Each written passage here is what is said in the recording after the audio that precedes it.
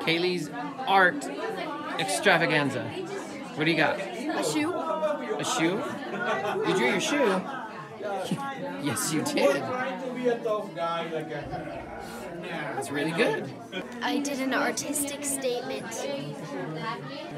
So I drew books on music notes. On music notes. I love that. That is really cool.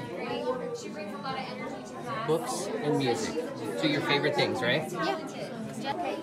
Holy Moses, you drew that?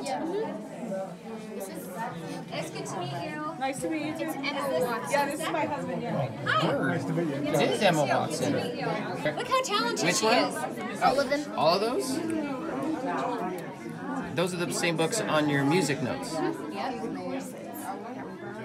then That is amazing, Kaylee. Thanks. She's got one. Very cool, Kaylee. You are an amazing artist.